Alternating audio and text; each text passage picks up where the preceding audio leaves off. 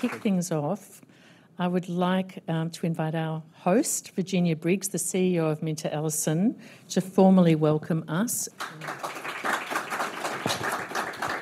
Thanks so much, Julie. And um, we are just so delighted to be hosting this function today. I was actually in a Champions for Change meeting this morning um, where we referenced the event, and I know that we're incredibly excited on that side of the fence as well. Um, to be supporting, and also Minter's very excited to be hosting today. So I'd like to acknowledge the traditional owners of the land we're meeting on today, the Gadigal people of the Eora Nation, and pay my respects to elders past, present, and emerging, and also to recognise the privilege of living, learning, and working on Gadigal land each and every day. We have such a fabulous panel discussion planned today um, on a topic that I'm personally very deeply committed to and that we're very deeply committed to here at Minter Ellison as well. I've really seen the impact of investing in women and girls firsthand. I think I first saw it through the work I did in helping establish the Diversity Committee at the Property Council of Australia. Um, I'm very remotely connected with, but always carefully observing the fantastic uh, work done by the Minerva Network. And um, we also do a lot of professional services, mentoring, and our own charitable giving and pro bono, pro bono initiatives here at Minter Ellison. Um, and uh, we do a lot of work broadly in this area, and I'm delighted to say that just this week we heard that our social impact partner, Keith Rovers, and his team, of whom Kate Cato is sitting here in the front row, not going to get by without a special mention, Kate, um, they have been shortlisted for the Social Impact Hub's Market Builder Award at this year's Australian Impact Awards. So we've got our fingers and toes crossed for Kate and Keith and our whole team um, in that respect. But enough from me. I'd like to hand to our MC today, Julie Reilly, who we just had a quick chat outside, who said that she'd never really been introduced in a forum like this. So there's the first time for everything, um, Julie. So um, Julie is currently CEO of Australians Investing in Women and brings to the role decades of experience working across government, corporate, and not for profit sectors. Um, Julie's extraordinary work, particularly to improve the lives of women and girls and across the charitable sector, has been recognised with numerous awards, including a Churchill Fellowship to study global strategies for growing philanthropy for women and girls, and also a Medal of the Order of Australia in 2021. So um, I'd like you to join me in welcoming Julie back to the lecture. Thank you. Virginia, that's very kind. I often don't recognise myself. I shouldn't say I've never been introduced, but when it's our event, I'm not normally. So that's really beautiful of you. Thank you. We're really delighted to be here today. As I said, it's our first formal um, partnership event with the Champions of Change, and you'll hear later from the wonderful, their wonderful CEO, Annika Freyer, who I'm sure is known to many of you. Uh, but at the outset, I'd also like to give a couple of shout outs. Uh, one to Lisa Whiffen, who is actually in Melbourne and can't be with us today, and one to Lisa Jarvis. So, both really fabulous, generous allies that helped us in developing the corporate gender lens giving resource. That is the subject of today, and we've got copies around um, for those of you who would like a hard copy. Uh, we've got next up the presentation of findings from our very first survey on the, the state of gender wise giving in Australia. And that's going to come to you from Gareth Chandler, who's the founder and CEO of the Evolved Group. We have a conversation with um, two very experienced um, corporate leaders in Sam Mostyn and Ian Silk, and moderated obviously beautifully by Catherine Fox with Q&A to follow.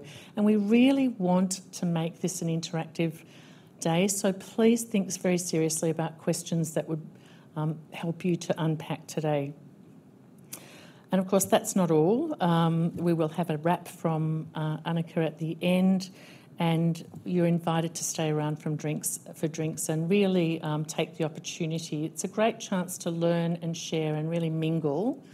Um, we want to create a real community of practice around this gender lens work in giving, and um, often those relationships are what will kick things off really well. Um, we've got a wonderful audience here, and many of you are known to me, but there's a lot of new faces, and that's very exciting. Um, so we've got people from um, corporate philanthropy, from private philanthropy, ESG and CSR experts, SDG um, measurement people.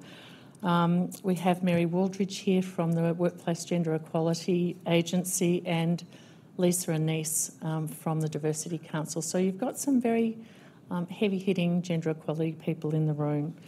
Um, and so your questions do not have to be limited to the panel. Um, just, just, I didn't check that with you at all, I know, but you'll be fine. Um, so, most of you will know the Champions of Change Coalition. Um, there's over 260 members, and they engage with leaders to help achieve gender equality um, and, in particular, a significant and sustainable representation of women in social change. But because you don't necessarily know Australians investing in women, I thought I'd just let you know that we are a national not for profit advocate. Our job is to advocate, um, educate, and facilitate gender wise giving, and we're a resource for anyone who is working in this space and really encourage you to connect with us. One of the ways that we add value to, the, to philanthropic funders is to create a range of quality initiatives that needs support. And um, I'm going to be in trouble with Joyce because I haven't done any flicking through these.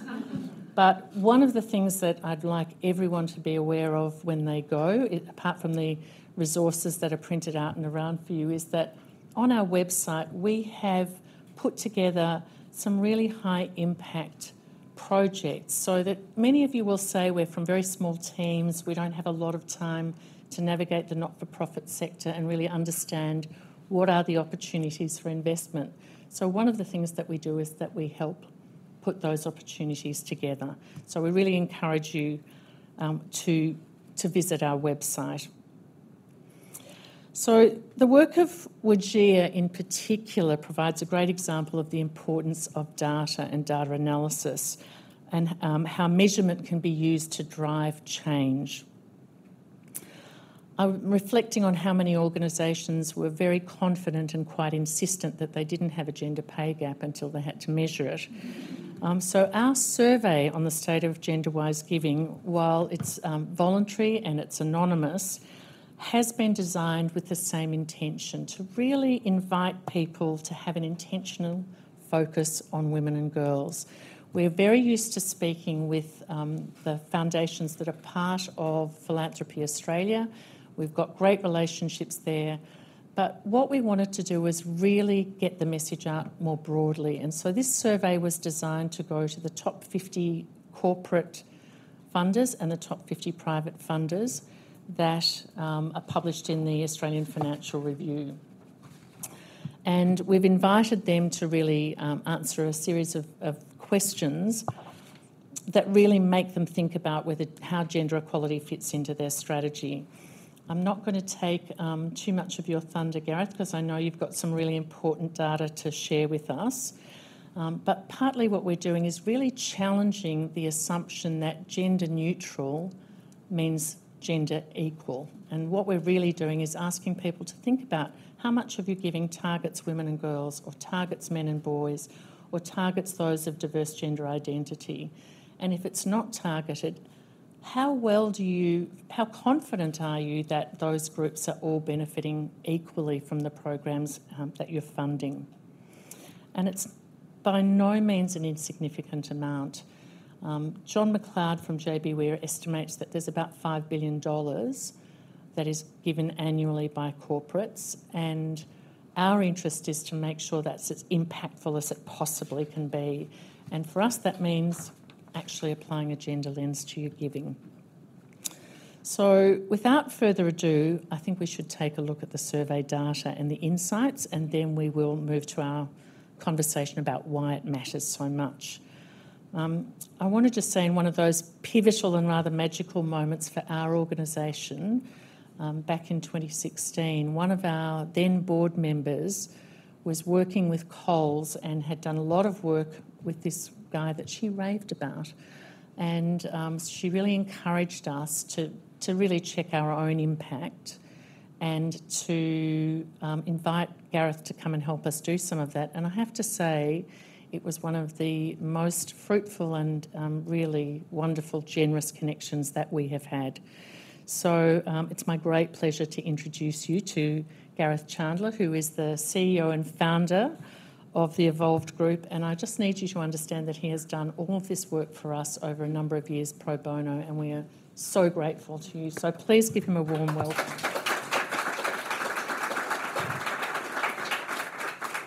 Thank you, Julie. And I'm, i feel very humbled after that introduction, but I'm also um, honestly extremely grateful for the opportunity to be here today and share some of the findings from our research with, I think a lot of people in the room have been on this journey at, at different stages with the whole movement and, what uh, Julie and the team are trying to do. Uh, what I'd like to really emphasise for today is I think where we started, um, where we are now, and what we've got to do to get to where we need to go uh, for all of the goals and the ambitions uh, that Australian investing women have. I'd highlight actually that when we started, I think it was um, Australian women donors, Julie. So the first thing we looked at back in 2016 was actually the branding um, and be able to get the brand to be contemporary and relevant and uh, be able to connect with organisations in Australia, both uh, philanthropic trusts but also in terms of, of corporates. Um, and that journey you did actually start with a coffee uh, with Eve and I think Tiz and a few other people down in South Bank in Melbourne. Um, and I think from that first discussion, really understanding um, what, what this organisation can do. And as a father of three daughters and my partner, I'm very passionate about the success and, and it's very pleasing to share some of these results with you today. So what we're really trying to do with these data is to know, as I said before, where things stand, uh, to be able to set a baseline, to be able to define success with hard numbers, uh, to be able to set targets for future success, um, and also be able to find insights that help Julie and the team really accelerate that success so that Australians investing women can have impact in the years ahead um, in the way that we all want it to. Now, a couple of comments on our survey sample, which, as Julie said before, is based on a, a list of top 50 corporates and philanthropists published in the Australian Financial Review. Um, I'm not sure how people in this room do surveys or not. In fact, when you ask most people if they do the survey, most people say no. Uh, so if you look at a sample size and you say around a third of people uh, completed the survey, that's actually a fairly robust view. Now, we talk about these two groups being large corporates and philanthropic donors as being uh, what you call a finite audience. I mean, there's not, not a lot of them. Um, and if I actually were to say to one of our corporate clients for whom we do business to business research, we've just captured 32% of the top 50 companies in Australia, they'd be deliriously happy. So, whilst we look at that and say, I would like to see the number 50 up there for both corporates and philanthropic donors, we don't have that. But that's something that we're working on and which uh, Julie and Joyce and the people in her team, we work very closely on that. But I'd like to think if we come back and do this again next year, we'd get that over 20 and every year improve that incrementally. On the other hand, it's still a good sample base um, and it gives us a lot of uh, uh, validity to the results and they're quite robust in our interpretation of the data. So the first point that I'll, I'll make is that uh, really the journey we're on is what we would call about conversion. And that means what we're trying to do is to make people ensure that the audience for the message of Australian investing women is uh, universally known. And then we need to help people understand why it's important. Uh, once they understand that, we need to help them activate that message and do something about it. Um, and from there, we need them to get them to spread the word and make it stick. So they're the key points that I'm going to go through over the next five to six minutes. And it does start with this chart. So this is at the top of that funnel, if you think about it that way. It's about awareness. Now, I must confess, when I would go back to that coffee back in 2016, I didn't know what gender-wise investing was, and I certainly had never heard of gender balanced or gender lens as terms. But uh, obviously, they connected fairly quickly.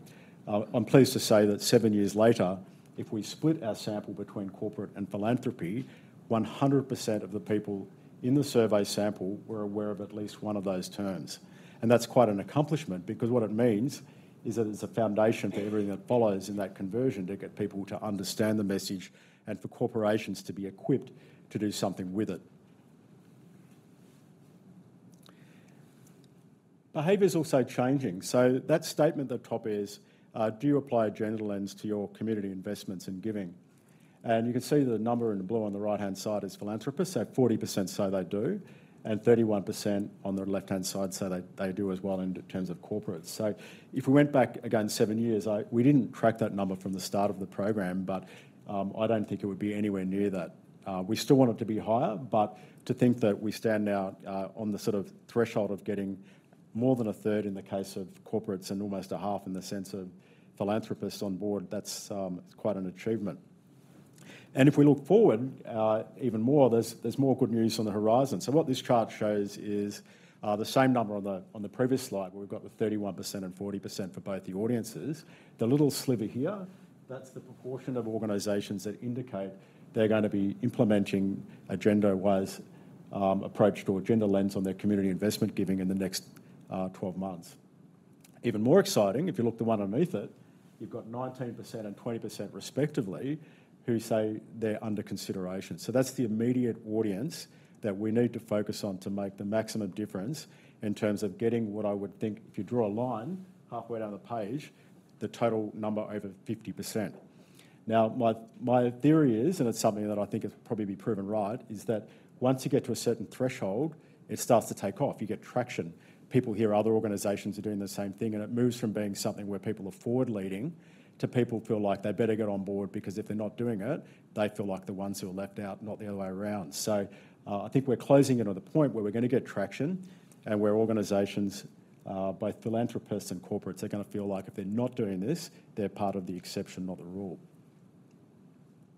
So what do we need to do to make that happen? So it's not just words, it's also actions. And I think this really sums it up as a statement, which is an individuals are conscious of the impact of gender. The challenge is translating this into organisational thinking. So if we go back to that statistic on several slides back, we've got universal awareness now, and that's great. But as we all know, working in corporate, in large organisations, and with large organisations, intent doesn't necessarily translate into action, and that's what we've got to focus on. The first one being we have to drive change from the top. And this is something, again, we've learned from all the programs we run in corporates around Australia and overseas that leaders within organisations, when they believe in a message, uh, people do it. Um, so it has to be led by the leaders in an organisation. At the moment, 50% of our sample indicated they agree uh, with the statement leaders within the organisation advocate for gender-wise approach. So there's work to be done there. And the point is that you can't ask others to do what you don't do yourself. Uh, so leaving this room today, I would encourage everybody to spread the word and again make others in leadership positions in this country understand what we're trying to do. The next one is around organisational capability.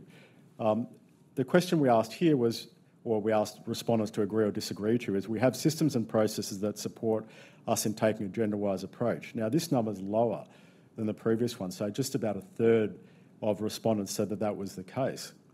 Now, why is that important? It's important because if we rely on goodwill, then it's not going to stick.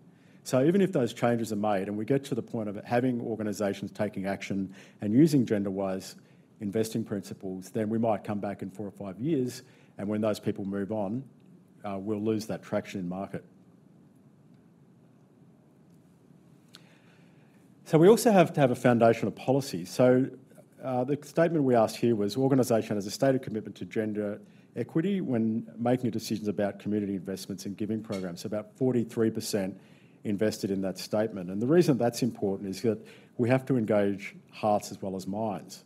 So if people believe in what we're trying to do, and it's not just being told what to do, or they feel that it's something the organisation just uh, becomes ticking boxes, as important as that might be, uh, it's something that they will again pass on to others, and it will get its own life um, and start to self-propagate through organisations.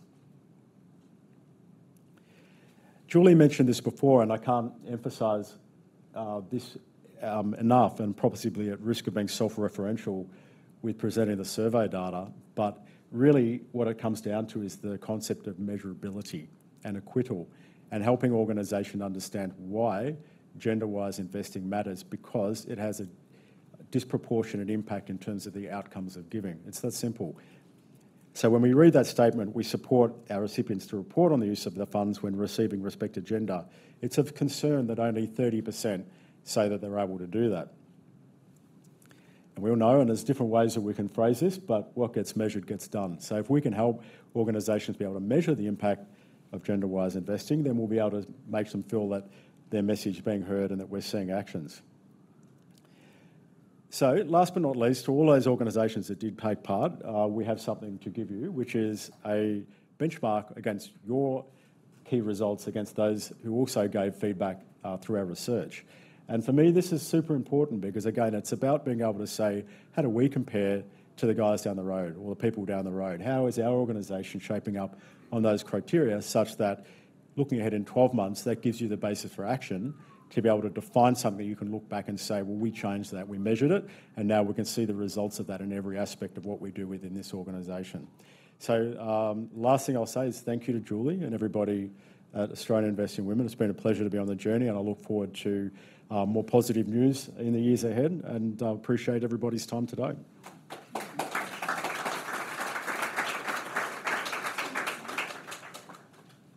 Gareth, thank you so much. And I also want to thank Giz and Sue, who are either side of um, Gareth and have, with Ella and Joyce, been doing um, the hard work around this. Uh, we think this is a really great value add. Um, so you will only get this report, and you will get it in the next few days, if you actually completed the survey. So part of our purpose today is really to say, okay, we're going to come back to you next year um, John McLeod tells me that I think December they're publishing a new list, and we will be on to that. So we really encourage you for your own um, benefit and your own understanding of what you're doing um, to, to really take part in this. It's really helpful data.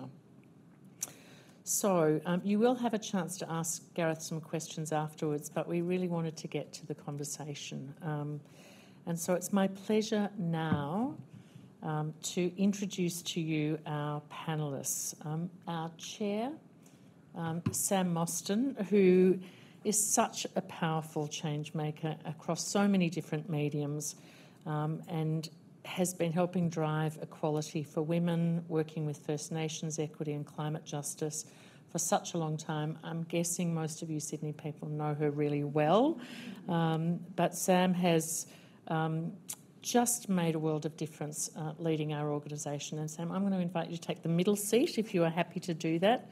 Um, so please uh, welcome Sam to the stage. I don't think it's any secret to the people in this room that Sam's been instrumental in leading the work, um, the federal government's work on women's uh, economic equality task force, and we've got some of that information here for you also. Uh, so we're doubly blessed um, to have the generous support of Catherine Fox, who is also a board director for Australians Investing in Women. She's a Walkley Award winning journalist, an author, and an expert moderator. Um, so, Catherine, I'm going to suggest you um, take a seat to the right of Sam. Thank you so much. And joining Catherine and Sam, I'm really delighted to introduce Ian Silk, who will be known, best known to most of you as the former head of Australian Super and is now the chair of Crown Melbourne um, and is a recognised expert for his leadership in ESG, all things ESG and investment. So please make Ian very welcome. I should just say, Catherine, um, before I hand over, that my first meeting with Ian was back in 2019 when uh, Lisa Whiffen and I went along. One of the beautiful things about the Champions of Change is that they have a philosophy of listen, learn, and um, lead from there. And so uh, we went along to Ian to say, look, this is who we are, what we do, it's what we're trying to achieve. We really think there's a great opportunity for corporates who are doing great work within their HR and D&I areas, but not necessarily thinking about how that gender lens works um, across their community investment and their giving. And I remember sort of making this sound very important to Ian, and he looked at me very um, directly and said, "Well, it's a bit of a no-brainer, isn't it, Julie?" So that was they've become famous words to us, Ian, and it was really what gave us. Um, the, the license and enthusiasm to go ahead and to really try and unlock that. So, Catherine, I will hand over to you to lead the conversation and thank you very much. I had an editor when I started out in journalism who said, You're not cynics, you're healthy skeptics. Um, so the healthy skeptic journalist here um, looks at that and thinks, fantastic because some of those, uh, that familiarity with some of those uh, terms has certainly increased, um, even to that 100% um, level uh, with the philanthropic group. So that's fantastic to see because it certainly wasn't the case a few years ago. And uh, we, we all know that because we've been in this space for a while. However, um, it's about that's the theory. Um, it's about the practice. So what we'd like to cover today is how does that translate? So you've heard the term. You sort of understand that it's it's not sort of. You, you probably understand. It sounds like a, a terrific thing. Uh, it's a no-brainer, as Ian put it. But how do you put that into practice? What does it involve? So I thought to kick us off, it might be good, um, and I might start by asking Sam to talk a little bit about what indeed is a, gender lens or one of those expressions? How does it apply? And given that her work with the task force has um, just culminated in the report, which has been handed to government, and I was refreshing my memory going through it today, and I must say, um, as a bit of a, can I say a veteran? Yeah, a veteran of this space, as indeed um, are, are some of us in the room.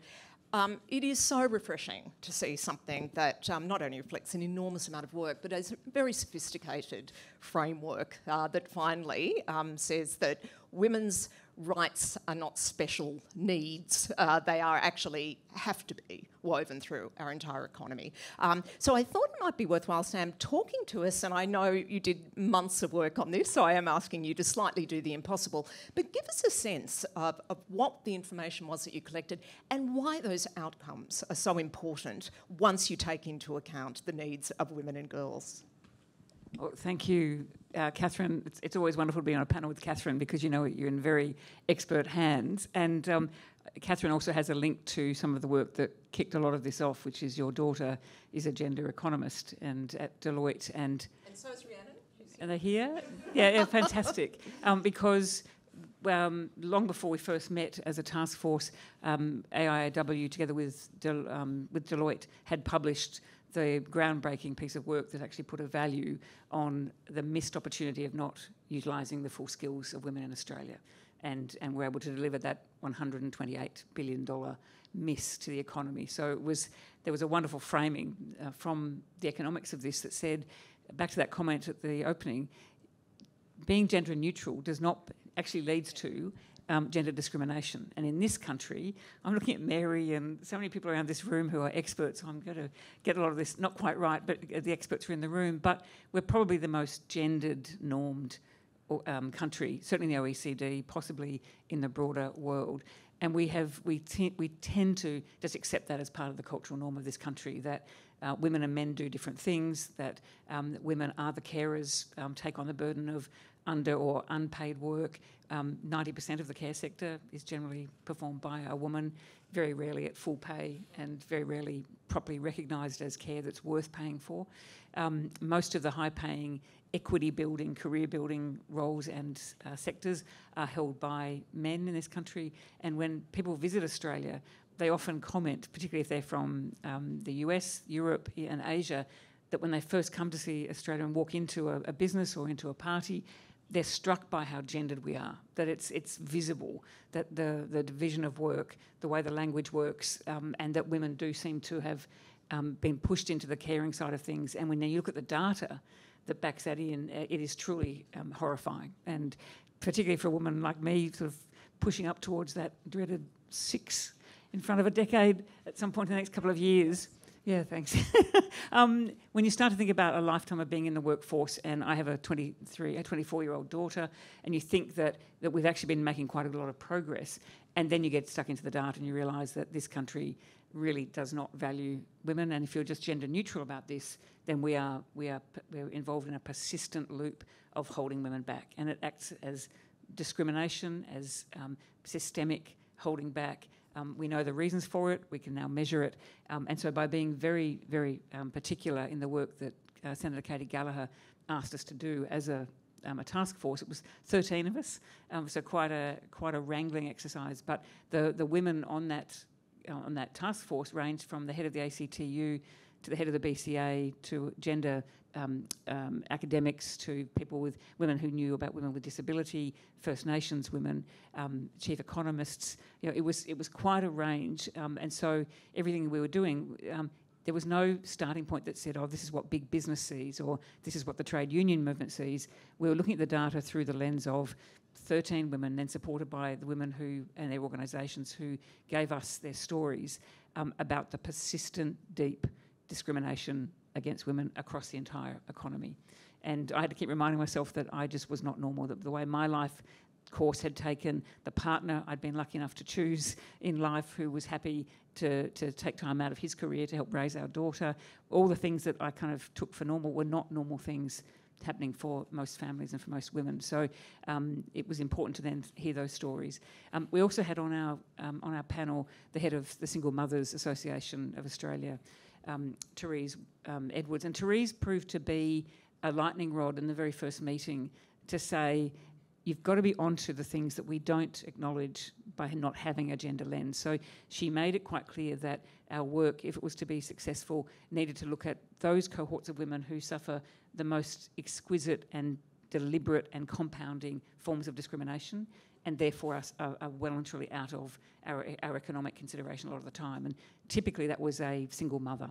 And she forced us, you know, the best possible way to actually understand what, what we mean when we say single mother, single parent, and how loaded that description is, and how policymakers and others have often thought about if you, if you picture a single mother, for many policymakers in Canberra who'd been working in departments of social security and the like, there was a picture of that woman that is not the picture of a single mother in this country and, and never was, but you'll know what it is. It's a malingering, dole bludging, probably not very well educated, probably got herself into trouble early, probably had too many children. Like there's a series of things that you, you feel and you know probably from the conversations when you hear about single mums. And, and it was no surprise then that one of the first things we recommended was the reinstatement of the, um, the parent payment single to parents who had children up to the age of 14 still at home. Because when that was taken away uh, 13 years ago, it was because there was a feeling that these were this was welfare that was being wasted on these women, mendicants, um, who weren't helping the economy, um, and nothing could have been further from the truth in terms of what, was really going on. And so I think I use that example about the single mums um, because by actually fixing that persistent problem, calling out the, ideo- the ideology behind that, and actually saying, meeting single mothers from, and single parents from across the country, you discover highly intelligent, highly educated women who, in many cases, were escaping violent relationships, living in circumstances with their children in poverty, not able to get jobs, and all said to us, we want to be the best parents. We want our children to have the best starts. We'd like to be taxpayers. We don't want to be regarded as drains on the Australian economy in the way we've been described. And it was a, it was a, a message that we kept getting. And to me, that's the epitome of the gender lens because if you don't step back and say, who is this group of women? How have we demonised them? How have we described them? What's that done to policy? Um, and how have we then affected the entire community? Because the lack of productivity for those women, not being able to get jobs, their children's future, so if they're living in poverty, not eating well, um, not have a secure home, they're starting school poorly. So that's then part of the next story about the future productivity of the nation put at risk because we couldn't put a gender lens on and say, what is it about this cohort of women that led to where they are, but also the policy response. So that, that to me is an example. But, the, but our report is littered with stories of those kind of persistent um, barriers. And we also heard from lots of men that we needed to call this out as a 10 year plan for an economic, a better economic future for the country so that men had permission to be stronger allies and could actually start talking about the, the way in which these tight gendered norms were affecting their lives. And so, whether Ian might have views on this as to the men who want to be active parents, um, or men who want to take time to be um, to, to, take time off and develop themselves, and, and are happy for um, their partner, a woman, to be a higher income earner, or to stand up and be an ally for women in the workplace when they see bad things happening. It, and so, so much of this plan is about um, equality and opportunity but not failing the test of calling out what must change. And so there are big systemic reforms here. Um, we, we did it over a 10 year cycle, so we've said what has to happen now, what could happen over the next two to three years. another government, another parliament, um, and by the end of 10 years, could we describe the Australia that we might have created against five dimensions? Um, and we would look like a very different place um, that would have intentionally removed those barriers for women and girls, but would have benefited the whole community. And um, reading through the report and the short term and longer term recommendations, and I was saying something uh, about this to Ian on a sort of a slightly more micro scale. It's so apparent, isn't it, that some of the change that has happened, not enough, but it's been piecemeal. So it's been in particular areas, um, and even thinking about uh, the PPL and the failure to, to actually pay superannuation during that period. Yeah. And I know that's you know one of one of many recommendations, but it just strikes me looking through that again that the need to pull this together and to look at it uh, in, in, the broadest possible way, and the 128 billion figure, which yep. of course reflects how many of our population are missing out. You know, it's a, it's a huge figure. No, and that's right. That. The the thing that um, and we did call this out, and I think it, that's back to this lens and how you look intentionally. Um, we were able to show that um, we are underutilising 50% of the of the available population. So that's just a staggering figure of laziness. But until you look at it, you don't get to be able to confirm that. 30% of men in the country today say there is no gender inequality. 30%. So in terms of the messaging and the who are we trying to bring along, an, an economic story makes a lot of difference. But when you think about the fact that in Australia today, 70 to 75% of all part time work is done by a woman. And think about what that means in terms of job security, career, um, a sense of income, um, where you end up at the end of your, your life. And we've, we've pointed out and we've, we've charted what you give up if you've had to pay the motherhood or pen, um, parenthood penalty when you have children, but then you go back to work and then you start doing part time, and then you're piecing together a whole lot of other part time work because no one part time job is enough, and you're taxed in a way that slugs you because you are a woman. So we've called out the tax and transfer system, which again was seen to be gender neutral, but when you get in under the tax and transfer system, this is a pernicious system that punishes women who try to come back to work after having children. The tax rates mean, and uh, yeah, there's been some good writing about this recently, that you pay to go back to work um, because it, it, hasn't been thought through the lens of what it means to be a parent going back to work. And, and so then you end up with 70% of the country's part time workers are women, and you wonder why um, so many women over 55 end up homeless or without any superannuation savings um, and are couch surfing, um, but looking after many other people in that predicament and dealing with the issue of, um, of safety and domestic and, and sexual violence. So, um, but when you pull it all out, there is a there's a fantastic story that if you focus on the things that, that are creating those barriers, we can fix this in a decade. Um, it will require investment, it will require some bravery, and, a, and I talk about it, it requiring a real audacity um, of policy making and measurement rather than just ambition, because to date, um, the, the way in which we've dealt with this in a piecemeal fashion incrementally um, has not worked, and has to, that has to stop. Thanks, Sam. Um, now, Ian, um, superannuation, your, your time at um, Australian Super. Tell us a little bit about being within an organisation um, and building the case to apply a gender lens. Um, you were a champion of change at the time. How do you do that? How do you make sure that people are listening and that it's applied consistently? at this point, not talking specifically about corporate foundations, but throughout the organisation and making that a focus point. Okay. Um, first of all, can I thank uh, Julie and Annika for inviting me to this session. Uh, every time I involved in a discussion on this, I feel not a fraud, but I feel as though I'm learning more than I'm contributing.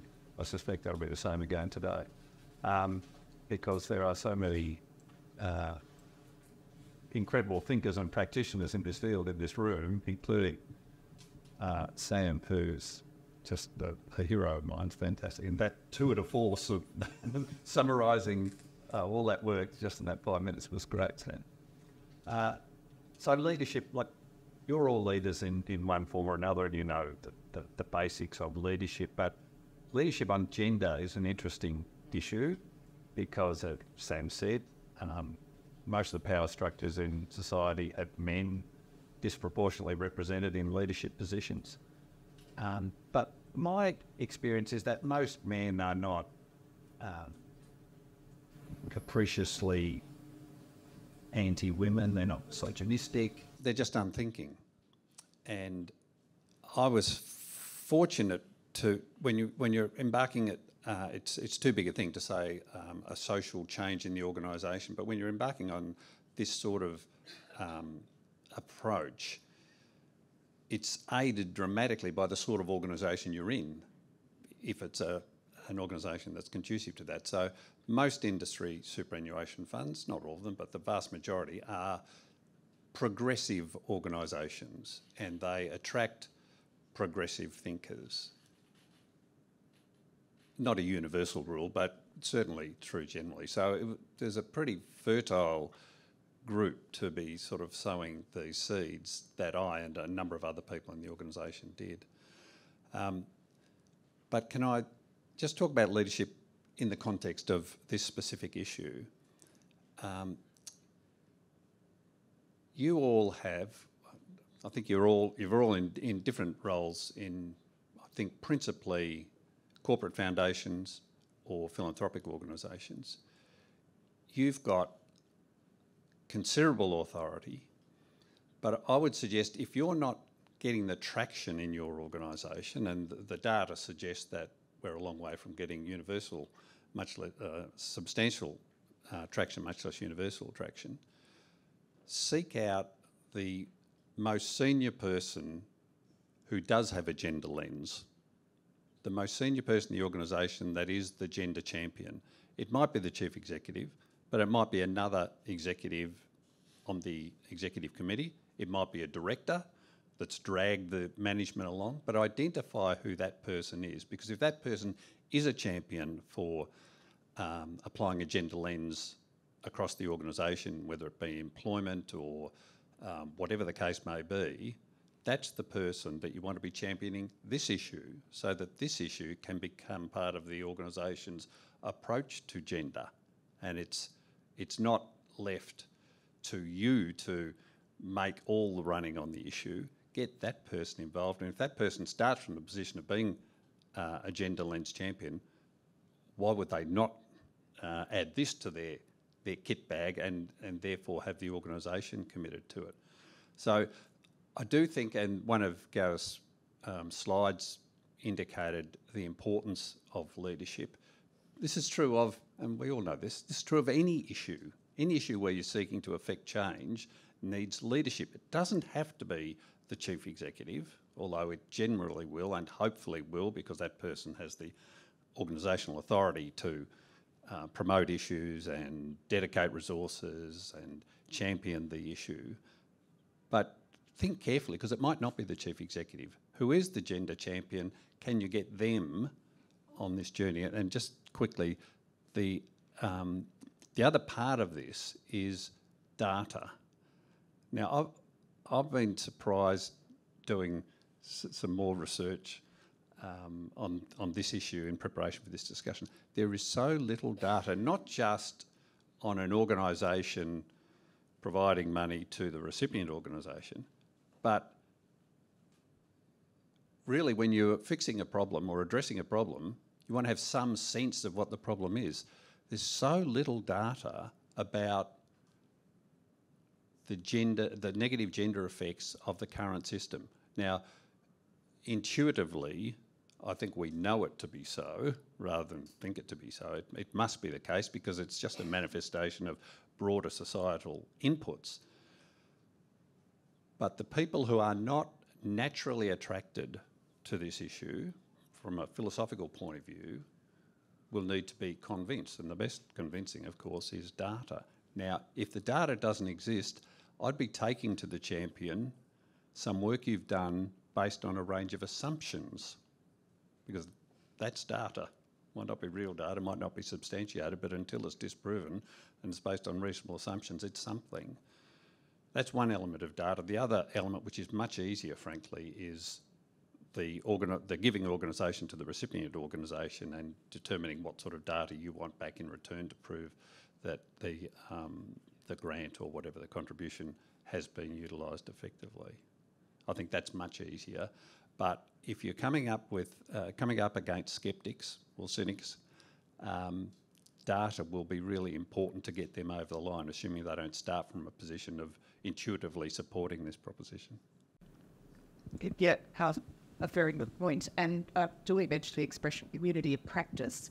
And I think um, the Champions of Change being a, a terrific example of that, because I was saying to earlier, the fact that an framework has to extend the supplier multiplier and a number of the other uh, mechanisms and levers that were developed by Champions of Change means that you can share some of that IP. So you're quite right about about data, but at least talking to a group of people who are philosophically on board about how to, to a to identify this, but then how to go about actually putting it into practice uh, is obviously important too. Well, it is, and um, so Julie referenced the discussion, which I, I, must say I hadn't recalled, where I said, "Oh, it's whatever I said, it's obvious or whatever." Um, it is, and everybody in this room knows that exceptionally well. But where are we? That was that discussion was five or six years ago, and are we dramatically further advanced? Well, there's a lot of shaking of heads. Clearly, the answer is no. So, this is an issue that requires action now. Um, there's awareness, the point um, again that Garett raised. The question asked was Are people aware of those three terms? Well, it's a pretty low bar, and the figures are still very low. So it requires those of us slash you who've got some impetus, some interest in this issue, to push hard. Now, I don't want to be accused of saying this is a women's problem, women should fix it, but I'm just saying the people in this room do have an interest in the issue, do have a voice, and if you don't think you've got sufficient voice in your organisation, as I said, seek out the champion so that we can move from having discussions and fora where we discuss this issue, where we can come and celebrate great successes, because that's what we want to do. And I'll, I'll speak a little later about one of the, the means I think that might be able to use to do that. I love that you took us to um, data, um, Ian, and I thought it would just be useful to let you know that in our first set of recommendations, the number one, which is really about the government having to implement gender responsive budgeting and policy making. If you, if you just change the words from government to business or right. foundation, and as I read this, you might think about that in your terms. And whilst I read about the lack of data that's obvious, the data holdings, and particularly with government, are extraordinary. The, the secrets and the stories that are contained in data that's not been leaked by governments is extraordinary. And I suspect that's the same in some organisations. I think it's it's thinking about what does data tell us and, and in what form. Yeah. And so we've said um, as, a, as one of the immediate priorities for government is to improve the use of the data that they already have that's currently available, collect new data and build the right toolkit to present an accurate and nuanced understanding of the dimensions of gendered economic inequality in Australia. This includes setting an expectation of evidence-based policy development and investing in the data capabilities of the APS to build, collect and use gender disaggregated data sets. Now, if the government just did that, I know Mary would know all about this from the work that you do with uh, WGEA, the, the data that you could bring across from the, um, the, the longest health surveys that's ever been held in the world, women's health surveys that have been done for 40 or 50 years, you begin to see the path of women and, and you can link all this data to say when do women start um, falling out of the economy and what happens to their health and what's happening to the health budget as a result of that, and then what's happening to their children while they're having that moment. And that data is all collected by federal and state governments. It's just not linked. And so we've made a very strong case for that. And I think in our own corporate organisations, if you ask a different set of questions, um, and the one we put here was um, to legislate to integrate gender impact assessment and gender responsive processes into policy design, legislative processes and budgeting, but we said uh, particularly around diverse groups of women, and ensuring that gender equality is foregrounded in the work and investments of government. Again, put that into the language of business, so foregrounded the investments of business and foundations. This requires an intersectional approach, and you should, it should always improve, not worsen, the lives of women, and that imperative should un- underpin the work of central and service delivery arms. So it forces you to then go looking in your organisation if you do foreground the gender issues and those things that have held women back. Mm. You'll make di- different decisions in your organisations or in your giving about where you can have the most profound effect um, that's having positive impact elsewhere. But in many cases, your giving and government's work on service delivery is actually harming women. So that, that was the other thing we found that by that lack of intentionality, the lack of use of data yeah. and understanding what the data is telling you can lead to policies that actively um, work to disadvantage women and therefore families. I was talking about lack of. Oh no, no. I, Yeah, no, I, I, I agree with you, but I think if you go looking for data, I, th- I think there's, a, there's an obligation on all of us to go looking for more data, because I, I agree with you that that's part of the problem we find whenever we survey that people don't know. But um, maybe we're looking, yeah, we've got to start looking in other places, or find the data sets that tell us. You know, I, I'm staggered with, with foundation giving that it's so hard to say, think about your giving from a perspective of how women and girls will benefit from your giving, and yet we don't, we don't do it. It's, I find it, this is fascinating culturally, one of things. Can I Yes, go. So the point I was going to raise, magnificent segue. Um, I- I think corporate foundations and philanthropic organisations undersell to themselves the power they have. You, you're the ones with the power, i.e., money. There's a range of organisations, you, you know better than me, there are more organisations that want your money than there are organisations providing it. You, that power needs to be leveraged. And one of the ways to leverage it, apart from the actual doing of good by the recipient organisation, is the data transfer back to you if, if you're interested in this sort of issue. I, um, one of the organisations, charities that I support is a, I won't mention it, but a household name, like one of, if I was to ask you what it would be, you'd get it in two guesses, I think. And I contacted them in the last couple of days to ask whether what their approach was to gender based analysis of all the work they do. Staggeringly, they have none.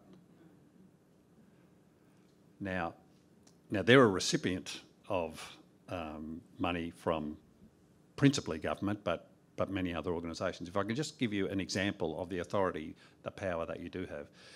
In 2016, Australian Super wrote to all of the companies in the ASX 200, the 200 largest companies listed on the stock exchange, that had no women directors. There were 17 of them. And said, We are going to vote at the next director election against the chair of the board or the chair of the nomination committee, and if neither of them are up, we'll vote against whoever's next until you address this. Today, there are no ASX director companies that have no directors. And I should say, um, this is not all of Australian Super is doing because there are many organisations who've been championing this, including um, Australian Council of Superannuation Investors for a long period of time. But I think we were the first organisation to write to chairs and say, we are going to use our economic power as shareholders in your company with the power to vote you off the board unless you do something about this issue, which has persist, persisted for decades. In 2020, we wrote to the 37 companies on the ASX that had only one director and said our policy is that there should be a min- minimum of two directors. Hardly a huge ask. Um, today, there are four companies in the ASX 200 that have only one director. And in January of next year, Australian Super is going to write to um, all of those same companies and say we'll be voting um, until you get to 30% women. So you might say it's a slow march from 2016, but um, it's an example of an organisation using its financial muscle. And believe me, you've got a power of financial muscle. Using it responsibly, I think, because we didn't say we're going to vote at the next election. We're happy to engage with you if you've got a plan in place, all that sort of business. But there have been many times where Australian Super over the journey has voted people off the board or lodged a vote to that effect because we had the power to do so. And um, you spoke just now, Sam, about how staggering it is that culturally these big organisations, giving organisations, do not make an entirely reasonable request of the organisation that, that probably hasn't thought about this issue itself, but putting it in their consciousness, having it as a contractual obligation, they'll provide the data back and the flywheel effect of the momentum that that will provide, I think would be very significant. Absolutely. I think um, we will open up in a minute, but I was just going to mention a few examples, which I think are always uh, illuminating. Of course, the principle here is that you apply the gender lens uh, to all your giving. Uh, so we look at, we have many examples, you saw some uh, on Julie's slides, um, but programs, very well intentioned programs, and by the way, that funnily enough, can be part of the problem, if you like, or one of the stumbling blocks, because philanthropists are doing good work. Um, and so when we say, but actually you could make this much more impactful for women and girls, it can sound a bit negative. But what we're actually saying to them is do examine um, the parameters and who's benefiting. Um, and one of the ones that we often go back to is a wonderful program that was set up for Indigenous teens, uh, and it was after school sports. Um, but there was no provision for young women, so no proper changing rooms and so on. So the people who were benefiting from that incredibly um, worthwhile scheme were young men. Um, so we're not saying they shouldn't benefit, but we're saying with some tweaks to that, you can make that so much more impactful. Um, but I did want to mention a couple of um, uh, things that we've watched and, and used as examples uh, Women for Election and Pathways to Politics, which I'm sure all of you are aware. Well, look at what happened in our last federal election. I'm not, not saying it was entirely from them, but gosh, that had an impact. Um, and they continue to do wonderful work. And if anyone's wondering, are, are, women less likely to want to go into politics? I hear from them that they're actually inundated with women int- interested in local government, state, federal. Uh, so they're going gangbusters. They're running workshops all around Australia. So that's one of them. Um, the other one's the Stella Prize, uh, which we often point out, which has absolutely transformed the literary landscape. Um, the number of books by women that are reviewed. Um, reading lists and high schools and the absolute resonance that has and the shift in, in young women who and their reading and the people that they are, are turning to uh, for wise words um, is just phenomenal. So just a couple of examples there. Um, Sam, I don't know if there's any you want to throw in, but uh, our point being that you can go to very specific areas of philanthropy um, and, and you can apply the lens in a more generic sense as well. I might just use one that was, um, I remember being profoundly affected by it when I first joined the board of then Women Donors Network um, that Eve Mahlab had created and Julie was, was running. And it was this issue of how medical research spending was done in this country. And to discover that uh, there was no distinction made between research on heart and heart health between men and women. And so all the research was done on men's heart health, and the prescribing of um, heart medication had not been interrogated properly. So women were being misdiagnosed, or sorry, misprescribed the wrong quantities of, of, of, of life-saving medication because no one had thought to actually separately investigate um, the effect of heart health. And what's the, what's the biggest killer of women in this country today? Heart disease. It's not breast cancer, it's, it's heart disease that kills more of us because there was a different, it was, it was, breast cancer was seen as ours and mm. hearts probably as men. There was probably something in the culture around that. And so the money was pouring into research that, that didn't have an intentional gendered lens. And then, then you see the outcome of And that's a, that's a pernicious one because that then goes to our, our ability to, to live good lives and have good medical support and the research community is full of those kinds of examples. I, I the, all the ones about how, how seatbelts are designed and how, how airbags are designed without um, women with the bits that we have compared to men. Uh, really serious stuff, though, about our safety because of a lack of intentional look. And that's just about giving and more about focus. But yeah. you can draw that across to say, how do people get into their head not to ask the question, should we be looking at this through the the one about, I can't resist putting in the one about um, safety devices in cars when that was first being noted that more women were being seriously injured and indeed dying in car accidents. Uh, it was attributed to their poor driving skills. True story. Um, but also uh, uh, just something that sprang to mind because I heard Caroline Criado Perez, who wrote the extraordinary book Invisible Women, talking again quite recently um, about PPE during COVID and how it was all designed for male norms. So the masks didn't fit. Women were actually catching COVID, uh, women working in essential areas clearly, uh, because the equipment and the masks and so on were not designed for women. So some incredible yeah. stuff that's. I'll share one that was more about philosophy and received wisdom um, that was never really checked. And we heard about this in the work we were doing when we looked at the role of um, paid parental leave and how was the original paid parental leave scheme designed and where. And because we've pushed very hard for it to be extended and paid at replacement wage, not just at minimum wage, and super to be paid on it. But where we're looking at how it was, how did it come to be that so, many, so few men take up the paid parental leave scheme paid for by government.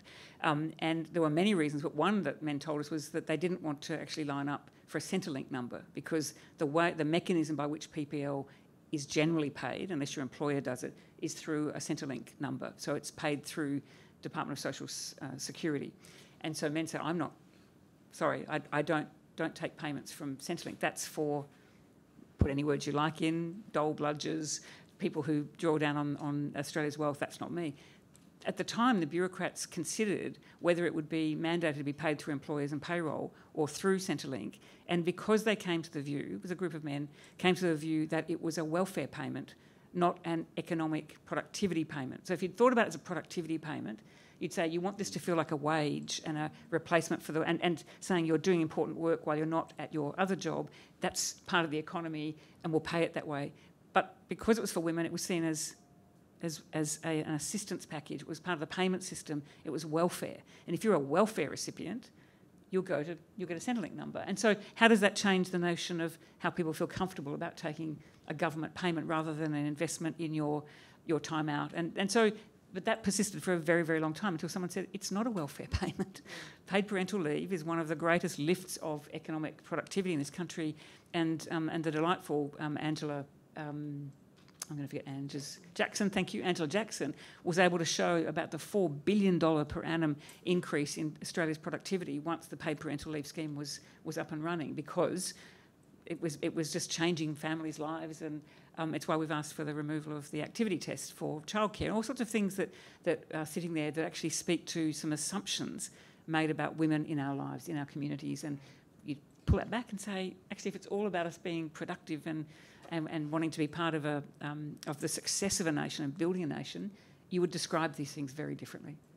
And philanthropy, of course, has a very important role to play in, in so many of these elements. Um, unconscious time's ticking on. Um, some fantastic messages here about getting active, um, gender neutral not being gender equal, and I think Ian's point about finding who the gender champion is. Hopefully the CEO, but if not, finding those those people that you can go to, and then the data, the capturing of the data, and passing that message on. So I'm going to open up. Um, any questions, comments, um, really, anything? Yes. So Leila Naja Hibri from the Australian Fashion Council. Uh, thank you so much for that very interesting uh, panel discussion. Sam and Ian, this question is for both of you. It's more of a, I'm, I, I wonder what's going on. It's almost 2024. Um, the Australian fashion and textile industry is about makes uh, is worth about 27.2 billion dollars and employs about half a million Australians. And from the work that we've done, um, the half, uh, there's about 77% uh, women working in the industry, so predominantly uh, empowered by women at very senior, also uh, uh, executive roles, so on. But then when it comes to C-level roles and board roles, we don't have um, parity, definitely not, and we, we don't even have, in some instances, representation. And so I've looked at some of the data uh, from WGEA on that. I've also, uh, the, the industry is uh, predominantly made up of SMEs, and so there's a lot of private companies that don't have to report on this. So, what is going on? And, you know, there are stats saying that, so representation and merit cannot be used in this case at all.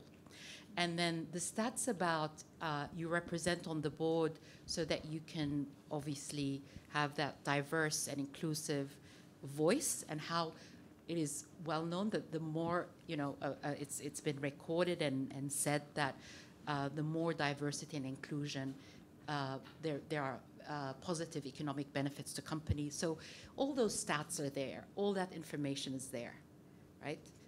Why don't we have um, representation in such an industry, for example.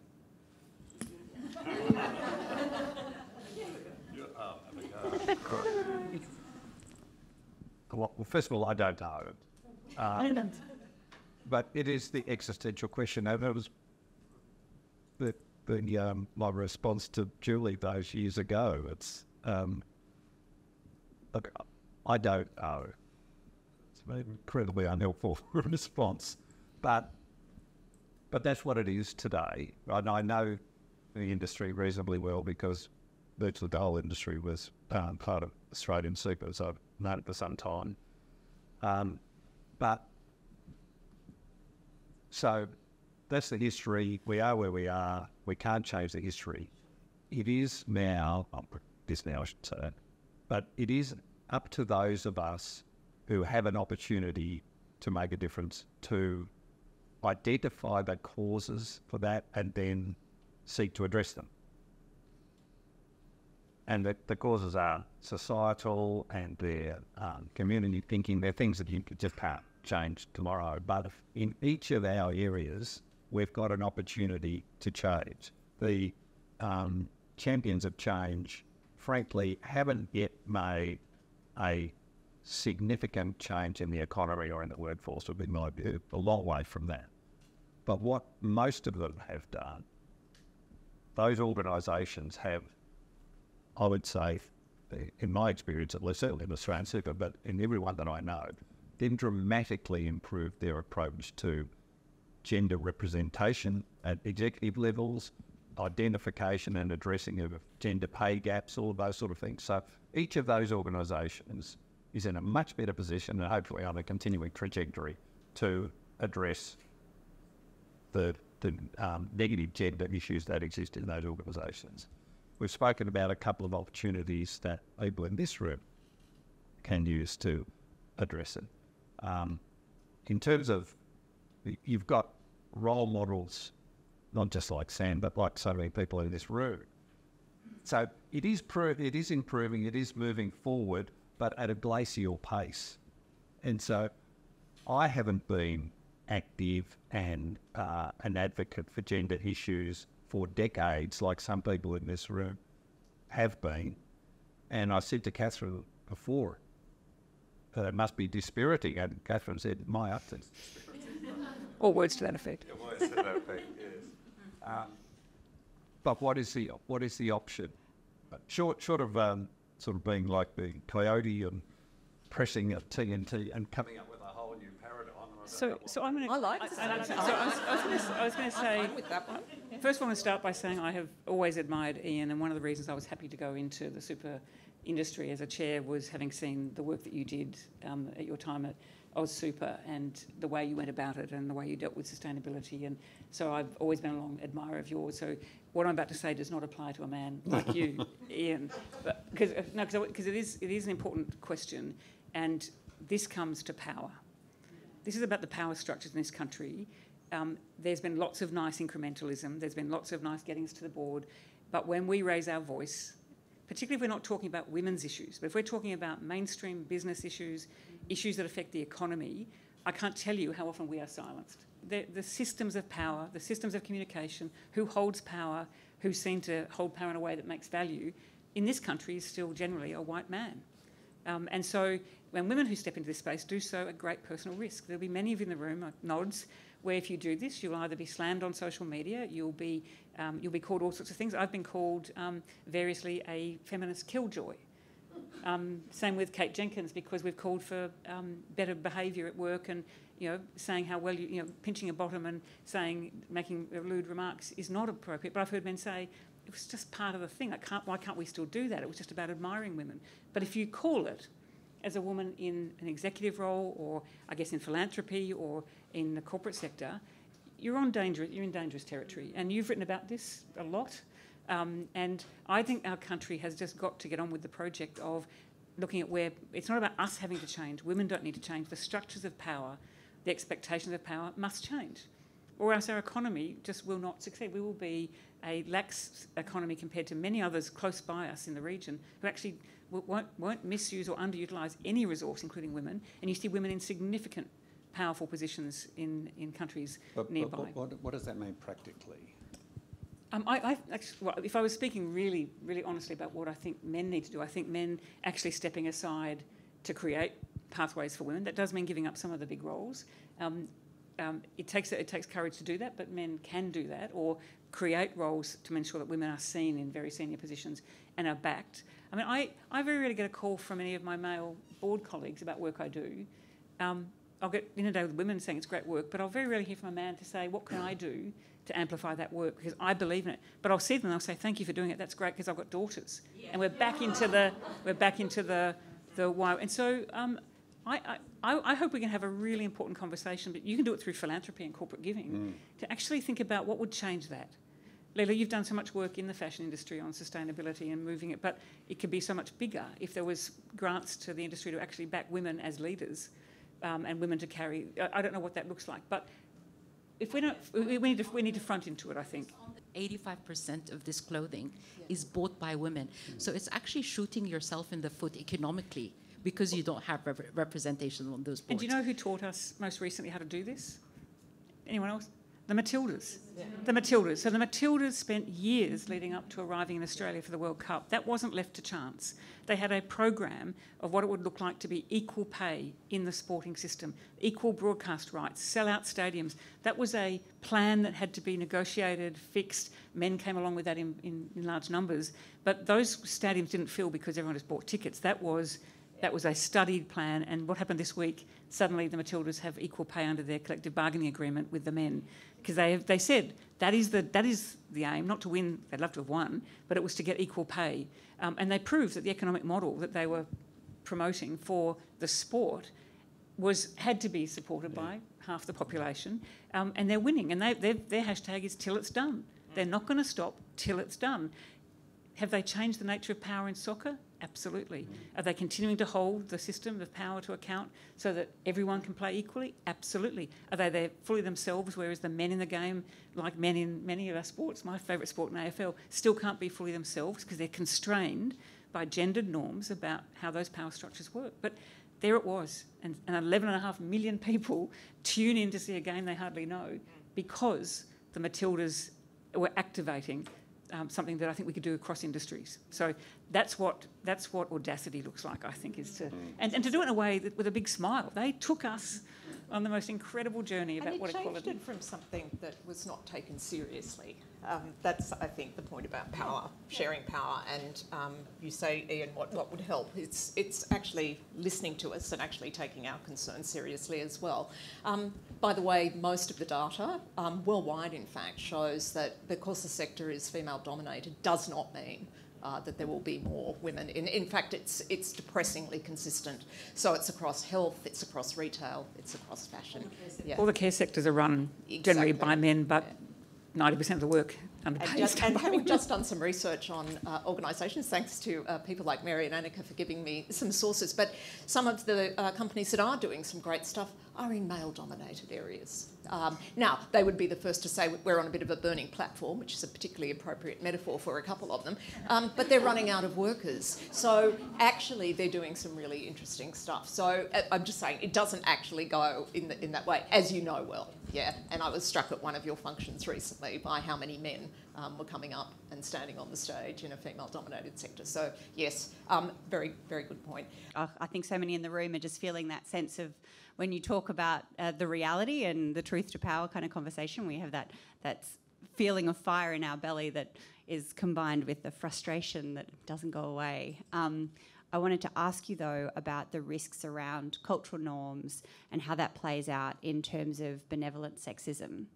And by this I mean we have the idea of sexism, which is women are less than men, and we're very familiar with this idea of the way bias comes through in sexism and, and the way women are perceived. I work in the startup environment, and it's the whole concept we're very familiar with is, you know, women won't be as good as this as men, and so we're very familiar with how to identify that sexism.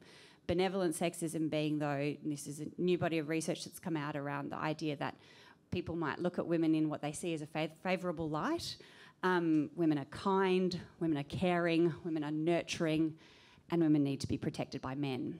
And that when this uh, insight or perspective of this particular special form of sexism comes in as a, a way we look at women needing that help, needing that protection, that it's not just that women get, you know, penalised for it. In fact, it's more that men get accelerated for the fact they don't need that protection and that help.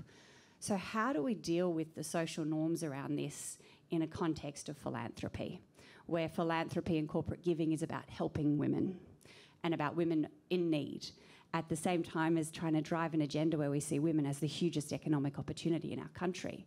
How do we grapple with these two truths? Women, there are women in need, but not allowing people to just see women as needy um, and instead seeing women as a power base. How, how do you suggest we deal with these cultural challenges we face into?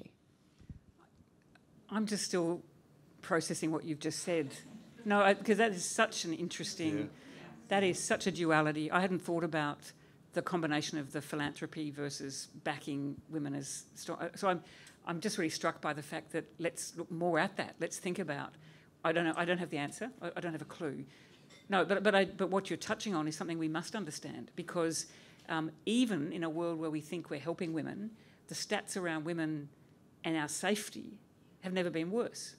So our security and safety through domestic and family violence and the, the levels of murder. So clearly, even thinking of us as needing help and putting money into things like domestic violence is not working. Um, and so, so it's having all sorts of effects that um, we haven't thought about. But I think maybe it's about how do you take a, um, a split view on we're going to help things that need lifting and we're going to help deal with the power structures and we're going to actually back more of this and find, find the discussion in your own um, in your own rooms where you're talking about this and be explicit about what an investment in a woman looks like. That it's not just about helping, although it can be, um, like the project, but you can be explicit. Um, I know um, Kirsty um, is here, Kirsty Albert from Alberts has a, an intentional investment, pro- an impact investment on women that's and VCs and startups. It's all about pioneers, pioneering women.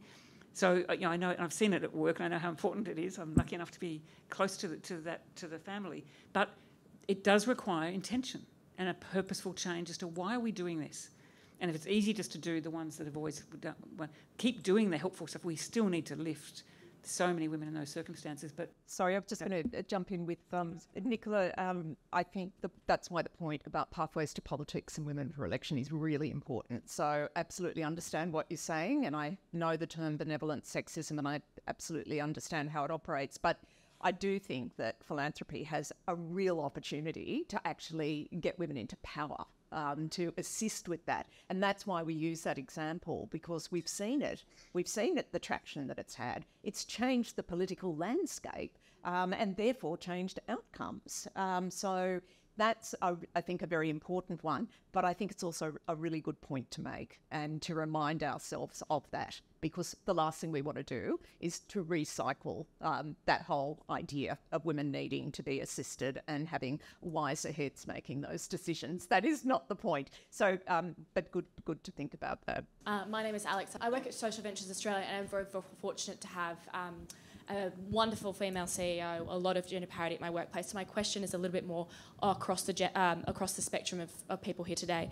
Um, I was very fortunate to grow up in an environment, I think Sam, you mentioned around having uh, my parents work in this space, and I have had my mum be the lead parent, my father be the lead parent, um, and the importance and understanding of that that I've had from a very early age. But I've realised as I've continued to grow that that is not something that a lot of other people have experienced. And I think it's so important to, uh, in all the work that we do, to meet people where they're at um, and to make people feel and, and, ensure that people are included in the conversation and not, not to alienate. Um, and I think I'm really interested in understanding from any of you if what kind of questions or what kind of approaches have you seen work when you are facing people that are maybe not on the same level of understanding, like man to man, a conversation that you've had, a um, you know having a, an interesting conversation with someone who is from a different. Um, uh, you know, a different country, uh, a, different, a different country, or maybe living, experiencing disadvantage in something that they do. How, how are we having those different entry points of discussion that aren't just leading with data when they may not have the capacity to delve in with you. Um, or yeah.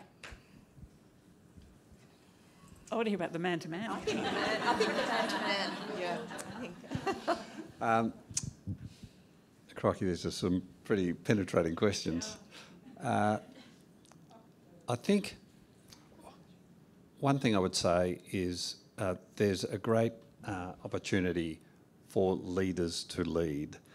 So, um, so one a micro example that when you find leaders in an org- male leaders in an organisation taking parental leave, leaving early, picking up the kids, going to school, all those sort of things that some years ago nobody did, and now it, it's not common, it's not the norm in, in my experience, but you do see them. And uh, I've seen at uh, a couple of workplaces that I've worked at where the, the people who do that, where the men that do that are, if not in an organisational um, hierarchy, organisation structure terms, the most senior person or the second most senior person, but they're opinion leaders, they're big personalities, they're people that um, are regarded as good managers or good supervisors, and people coalesce around them socially, whatever. If they do that, you do see the ripple effect. It does happen. Um, so that would be one. So here I'm. That's an instance where men influencing men for broader benefit, um, and you know, I imagine, I hope others have seen that sort of thing occur.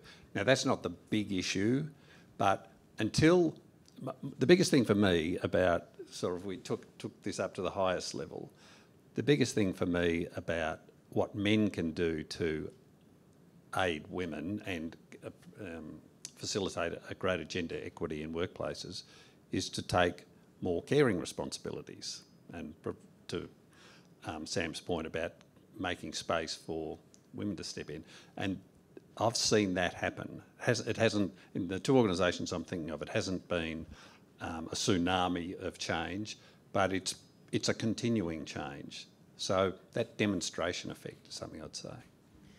I'd absolutely agree with, with that. At, at Mirvac, um, when Sue Lloyd Hurwitz was our CEO, um, as much as women found it a little bit tough at the beginning that we were going to be celebrating the men that were taking leave and doing that, it actually was the most important thing to do and to find the men in that organisation where they were, and they were the best role models to allow other men to suddenly find their um, their courage and their capacity. So they, they were highlighted, their stories were told, and we saw a huge uptick in the number of men who, who started behaving differently. It helped too that they weren't punished at all um, by taking leave in terms of career outcomes. So then that had to be matched by women also not being punished and, and suffering the, the, motherhood trap. So it took a lot of work. But I think you you, used a phrase which I think is very important. We do have to meet people where we find them. And, you know, I keep, I, I keep relatively calm most of the time. I've given you a little bit of an outburst today just because it's a friendly audience about the power struggle. But um, we chose deliberately to write this report in a particular way so that anyone picking it up could feel attached to it. And I just thought I'd read you the, the, the thing I'm most proud of, which was the, the question we're asking people when they read this, whether they're policymakers, philanthropists, um, or, or any of you, was to say, when we talked about what was, at, what was at risk for the country, we said, this prompts serious inquiry into whether Australia has the necessary social and economic settings to support the modern lives we lead and to be internationally competitive with an economy defined by its diversity, dynamism, resilience, and ingenuity.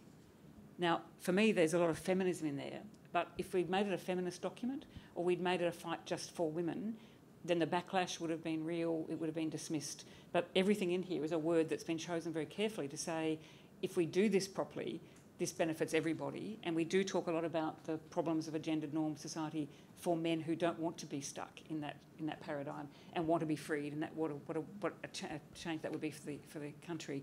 Um, but we are we are using it as a we've got to we've got to fix this for this country if we're to be internationally competitive.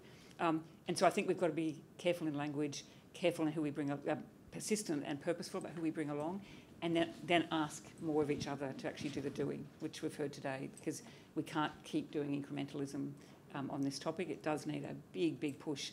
Um, and I, I, really like the way that Ian's described you know, what good could look like inside organisations. And um, that's every conversation and that's every opportunity. So, um, but we could probably have a lot more discussion about it over drinks as to um, where, the, where that hits. But it's, it's, it's really important. It is. And just to end on, a, on an optimistic note, um, the Gender Compass research, which came out re- recently from Plan International, the vast bulk of people surveyed were in the middle they're persuadables. Yeah. And uh, I think it's really important that we remember that. Um, there's the 30% or so uh, who will never be convinced. A little bit, a little bit Rebecca Huntley did it. She did the climate um, survey in the same way, Climate Compass.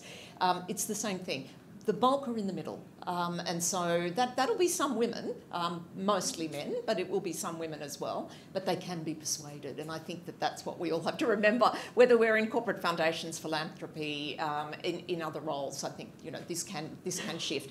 but yes, it's taking um, just a tad longer than some of us hoped. Um, but look, thank you uh, so much. And could you please thank um, Ian and Sam?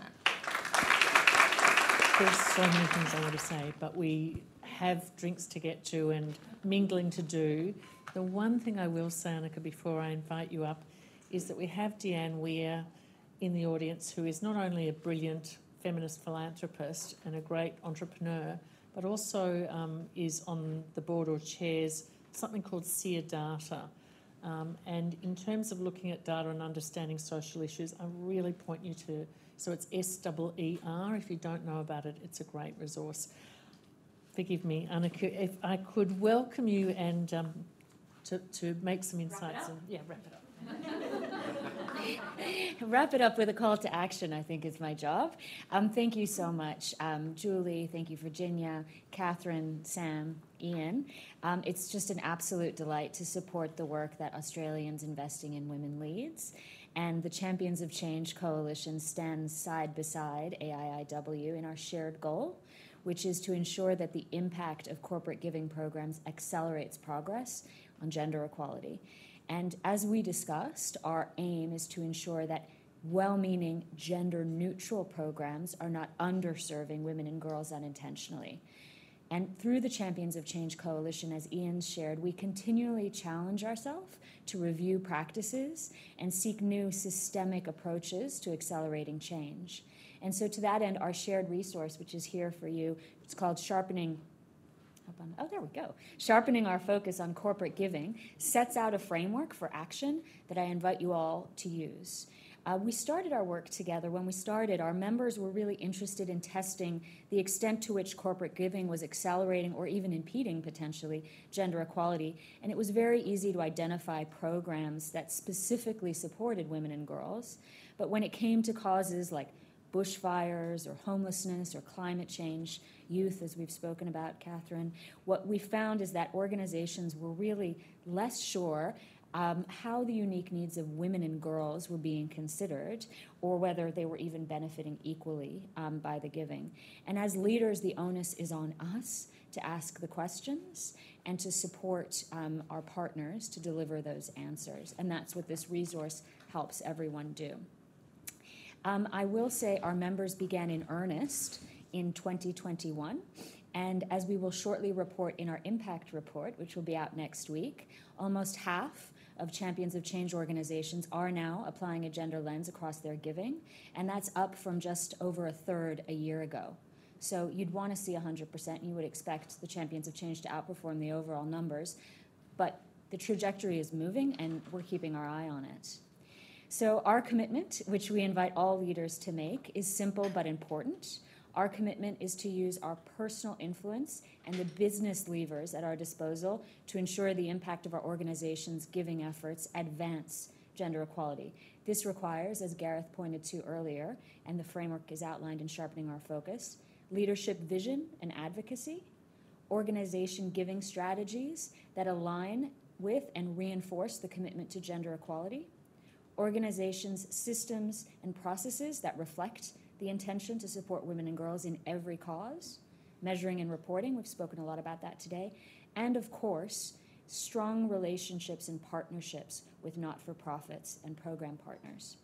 So, the resource we've developed together offers practical actions against all of those five. So, if you want something to do, you can take it and go off and do that. And we share it widely in partnership with Australians investing in women with the ambition that gender equity in giving becomes an expectation rather than a consideration.